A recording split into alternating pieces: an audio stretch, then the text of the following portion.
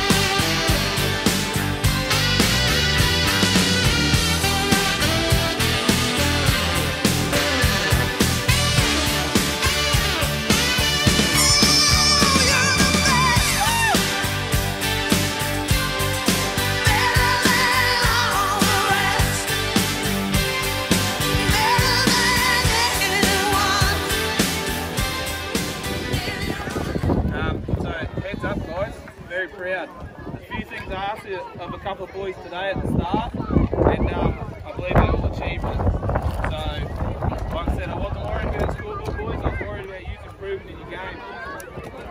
a couple of little things there in defence. Uh, you all know it, I'm not going to hide it uh, over that training. I'm not going to pick a player of the match today or the matches because I think he's all pretty even um, and he's all worked together as a team. There wasn't,